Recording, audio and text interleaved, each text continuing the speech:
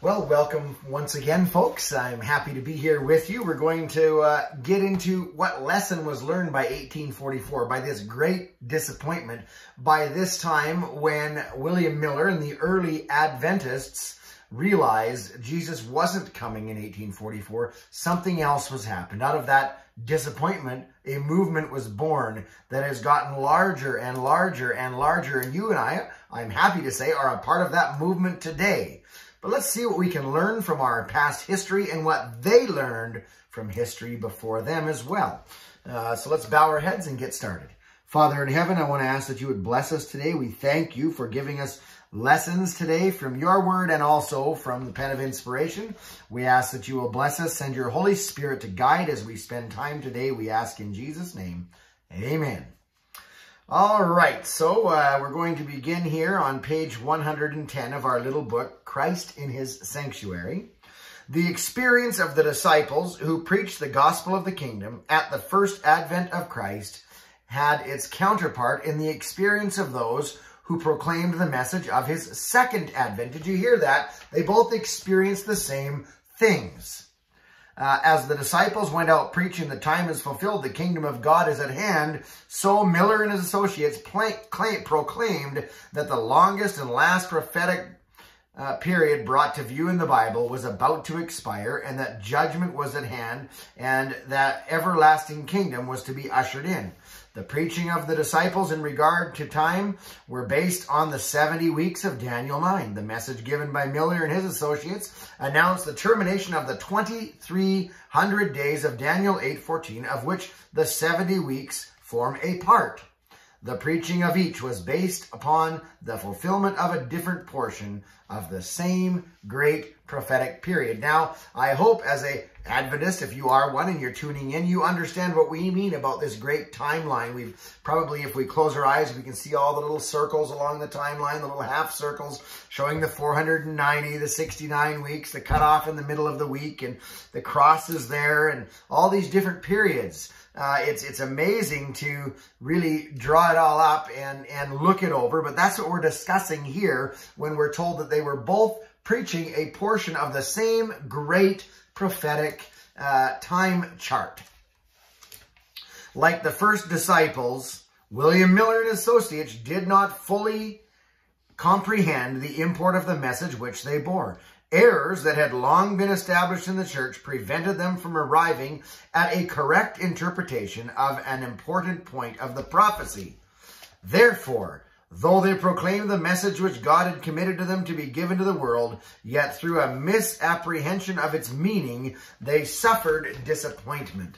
So they had the time right, they had uh, some of the parts right, and they proclaimed a message that needed to be proclaimed, the urgency of Jesus soon coming, the very same message you and I need to present today. However, they were greatly disappointed because they erred simply in what that event was that was going to happen on October 22, 1844.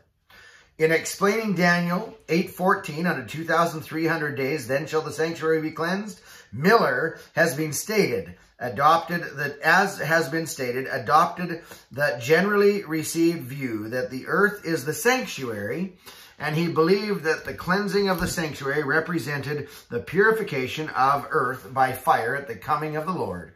When, therefore, he found that the close of the 2300 days was definitely foretold, he concluded that this revealed the time of the second advent. His error resulted from accepting the popular view as to what constitutes the sanctuary. You see how one point steeped in tradition, steeped in our deep-seated beliefs can keep us from growing into more light that God would have us to know and understand. I would encourage you today, take the Bible at his word, take God at his word, and if his word contradicts some something you have been taught for your entire life, something that you believe beyond a shadow of a doubt to be true because it was told to your parents and to your parents' parents and then to you, You must let go of that tradition, that that way of thinking and allow the Bible to teach and instruct and seek to understand what the Bible is teaching, not insert what we already think into the Bible and try to make the Bible fit that. That's where Miller went wrong without even knowing what he was doing. He just accepted that this earth was the sanctuary and God was going to cleanse it by showing up and taking us home. A wonderful message, but a little bit off. In the typical system, which was a shadow of the sacrifice and priesthood of Christ, the cleansing of the sanctuary was the last service performed by the high priest in the yearly round of ministration. It was the closing work of the atonement, a removal or putting away of sin from Israel. It prefigured the closing work in the ministration of our high priest in heaven, in the removal or blotting out of sins, his people, which are registered in the heavenly records. This service involved the work of investigation, a work of judgment, and immediately precedes the coming of Christ in the clouds of heaven with power and great glory. For when he comes, every case has been decided. Jesus said, My reward is with me to give every man according as his work shall be. Revelation 22, verse 12. It is this work of judgment immediately preceding the second advent that is announced in the first angel's message, Revelation 14, 7. Fear God and give glory to him, for the hour of his judgment is come. Those who proclaimed this warning gave the right message at the right time, but as the early disciples declared, the time is fulfilled and the kingdom of God is at hand, based on the prophecy of Daniel 9, while they failed to perceive the death of the Messiah was foretold in the same scripture, so William Miller and his associates pre preached the message based on Daniel 8 to 14 and Revelation 14:7 and failed to see that they that there were still other messages brought into view in Revelation 14 which were also to be given before the advent of the Lord. As the disciples were mistaken in regard to the kingdom to be set up at the end of the 70 weeks so Adventists were mistaken in regard to the event to take place at the expiration of the 2300 days in both cases there was an acquaintance of, or rather an adherence to popular errors that blinded the mind to truth.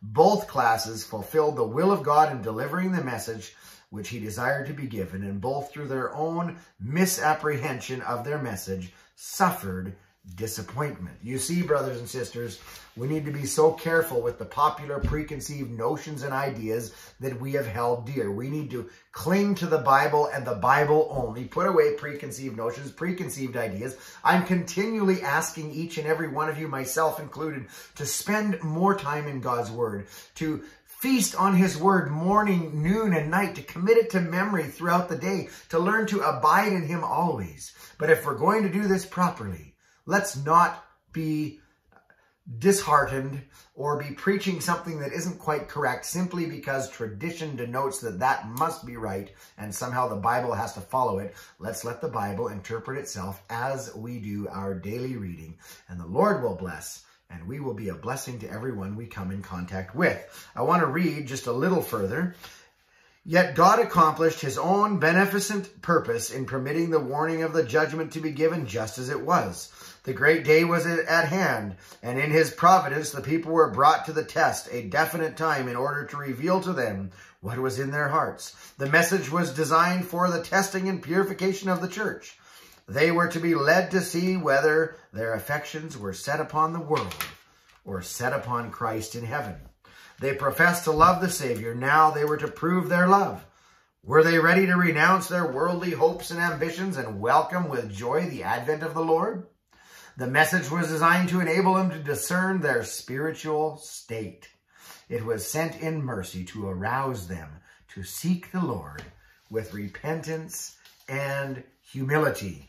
Now, I want to make a statement here today. We're sitting in the middle of COVID, unprecedented times, something we've never seen before. Is God trying to get you and I to begin to recognize that that time of probation could be drawing to a close? We're dealing with things the world has never seen. We're facing problems we've never faced. Is God trying to do the same things he did for the disciples, the same things he did for the early Adventists during the disappointment? Is he trying to direct you and I to do some deep soul searching, some digging into our own hearts, making sure that we know Jesus, that we are seeking him while he may be found, that we are studying to show ourselves approved, not of this world and its popular ideas, but of heaven and of what God would have us do. I will repeat what I do so often.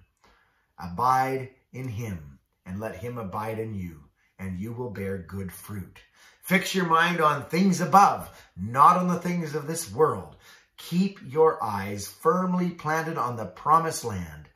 And don't look to the left or the right at the distractions of what the devil is doing down here on this old world. Let's pray. Father in heaven, teach us today.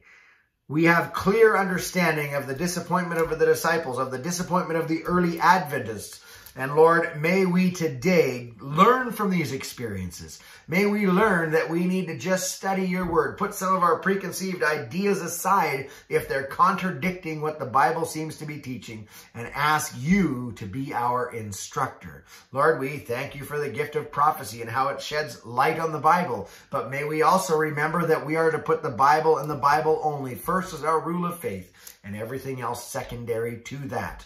We ask now that you will lead and guide and as we finish out this week. And Lord, may we be a blessing to anyone we come in contact with as much as we can during COVID.